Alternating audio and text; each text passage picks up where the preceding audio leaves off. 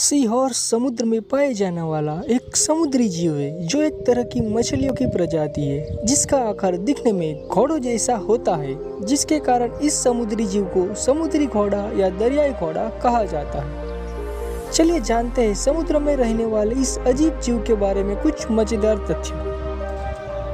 Sea horse लगभग दुनिया भर के सभी समुद्र और महासागर में देखने को मिलता है।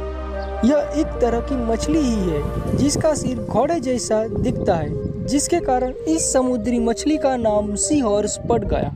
वैसे तो यह मछली की ही प्रजाति है, लेकिन इस जीव की ज़्यादातर आदतें मछलियों से अलग होती है। समुद्री घोड़ा अपना ज़्यादातर समय समुद्री घास और समुद्री पौधों के साथ पूछ की कुंडी बनाकर चिपका रहता है।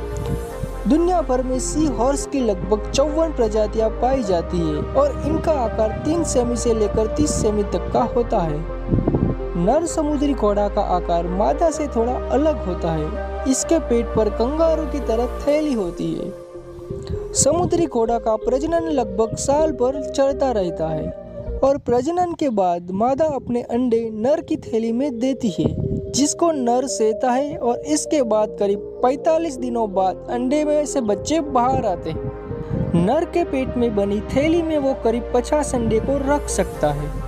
समुद्री घोड़ों का विश्व में कई सारी जगहों पर काफ़ी मात्रा में शिकार किया जाता है, जिनमें चीन और सिंगापुर में इसकी बहुत ही ज़्यादा डिमांड होती है। चीन जैसे देश समुद्री घोड़ों का इस्तेमाल करके शक्तिवर्धक दवाई बनाता है।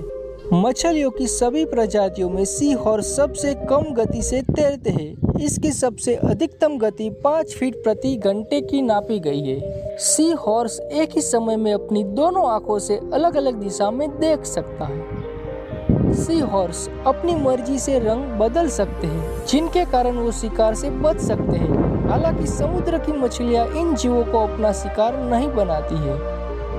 सी हॉर्स गर्म पानी में रहना पसंद करता है। लेकिन वे न्यूजीलैंड कनाडा, ब्रिटेन और अर्जेंटीना के ठंडे समुद्र में भी पाए जाते हैं।